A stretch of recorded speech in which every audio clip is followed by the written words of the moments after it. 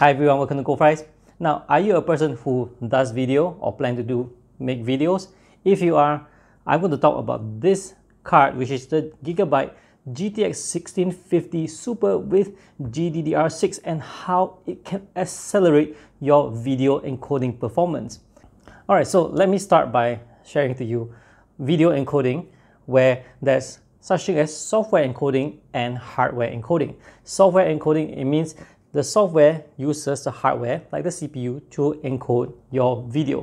While hardware encoding is where the software, of course, it still runs on the software, but it communicates with a dedicated hardware to do the encoding job, therefore getting it done faster.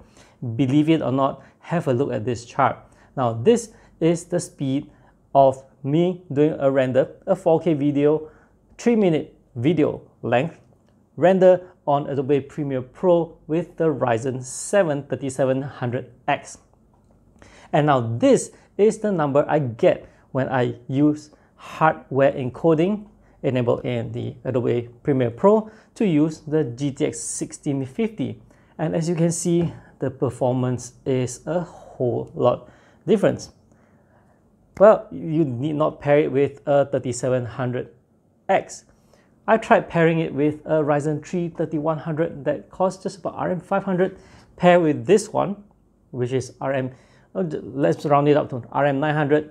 Total price of that processor and this graphics card is still less than the Ryzen 7 3700X and it still performs faster. It's just that the CPU is at full load, therefore a bottleneck on the graphics card. So if you go with a Ryzen 5 3600X processor and pair with this one, you'll be amazed by the results. And pretty much I'm saying that you may not even need to spend on a Ryzen 7 3700X because when the software has GPU acceleration, well, you get faster encoding time and it's all the benefit to us and users. All right, so that's it for this video. There's no performance benchmarks of the 1650. If you want, the video link is up above. And if you're viewing this on Facebook, then I'll have a link in the description down below. So, all right, that's it for this video. As for this card, thumbs up, good stuff, gaming performance, I'm assured.